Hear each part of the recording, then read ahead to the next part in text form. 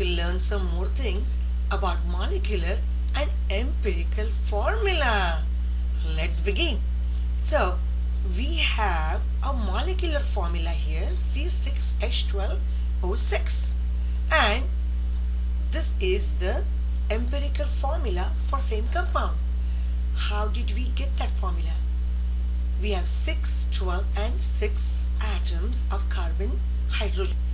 What happens when we divide each of those by 6? We end up getting CH2O which is a molecular formula.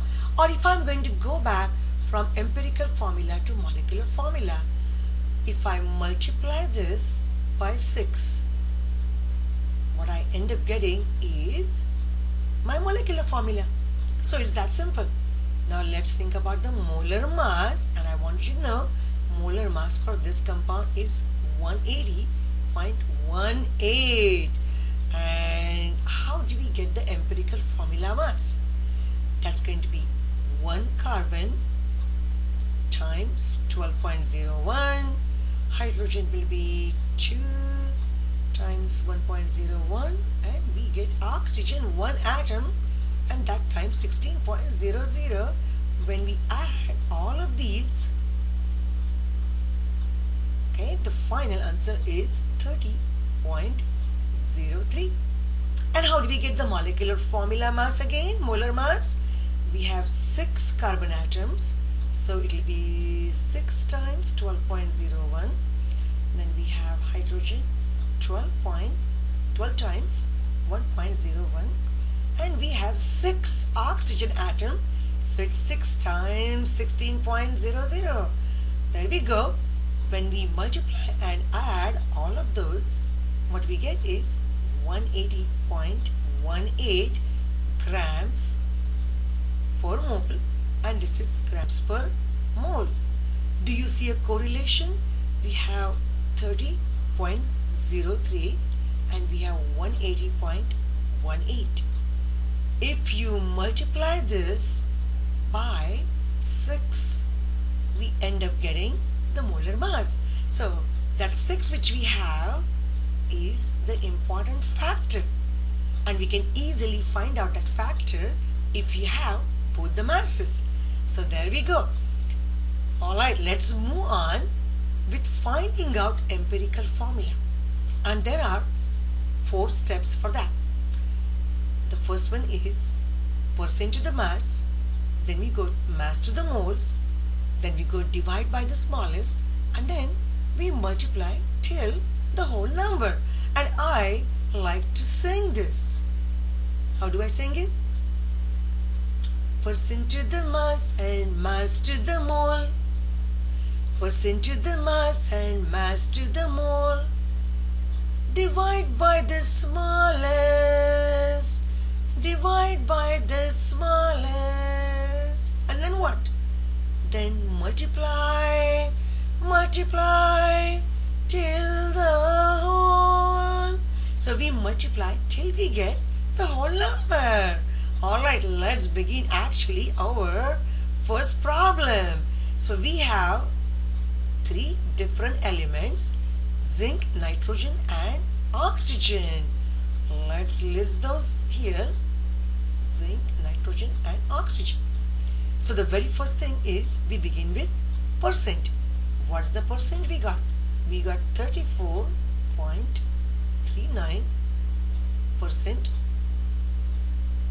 14.82 for nitrogen and we got 50.79 percent to uh, for oxygen. So what's our first step? Percent to the mass.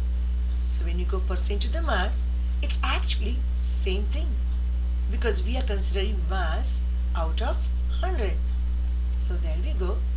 We got the mass. Next thing which we have is mass to the moles. How do we get mass to moles? We are going to divide each of that by the molar mass for the compound.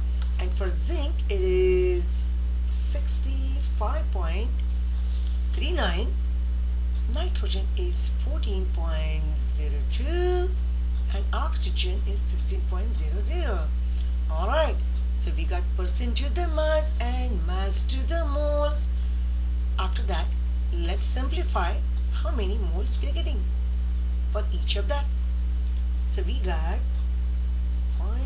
0.5259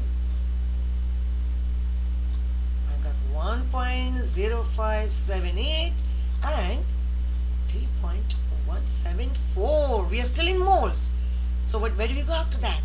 Okay after we go percent to the mass and mass to the mole divide by the smallest. We got three numbers. And out of these which is the smallest number? This is the smallest number.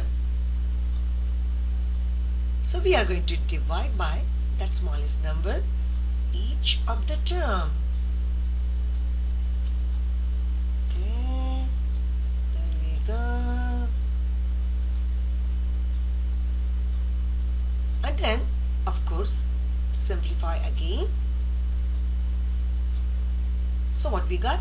1 2.011 and 6.04 well we can round up this to 2 and round up this to 6 so in a way we got 1 2 and 6 as the ratio of every element if it was not there then we will go further and you will say multiply till the whole number. In this case, we already got the whole number.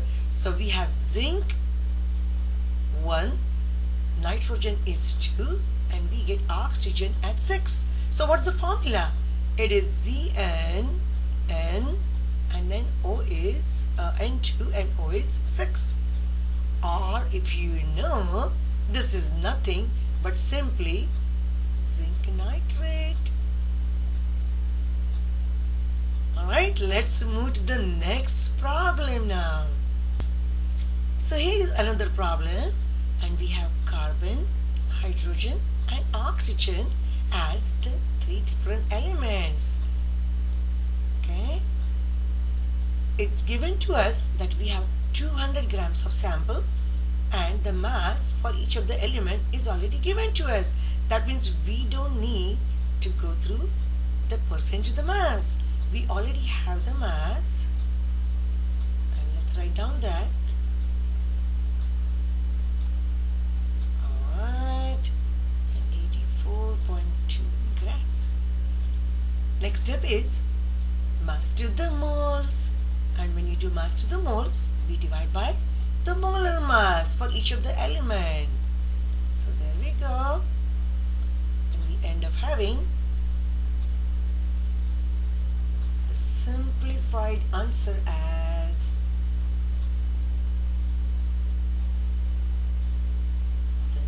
twenty point eighty four and five point two six three. Alright, the next step is divide by the smallest. And smallest is 5.263 so let's divide everything by that number. And then what do we get?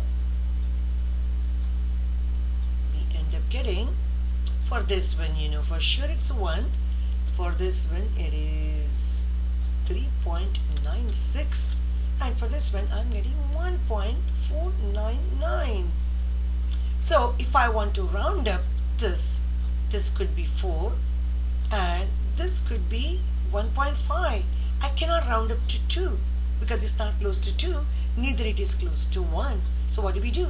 At that point you multiply to the last number. So is the last part.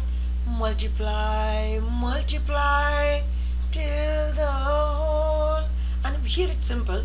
We get whole number by simply multiplying by 2 so when you multiply by 2 times 1.5 we end up getting 3 as the answer. This one is 4 times 2 so it will be 8 and this is 1 times 2 which will be 2 so we got the proportion. So it's carbon 3 hydrogen with 8 and we got oxygen too.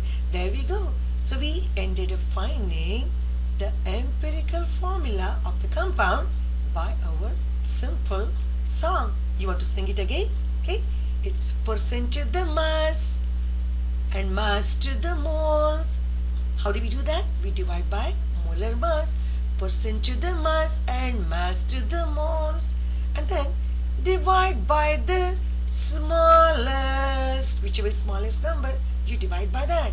And then what you get is you multiply, multiply till the whole. So we multiply till we got the whole number. And there we go. So is it easy? How to find the empirical formula? I will see you in the next video.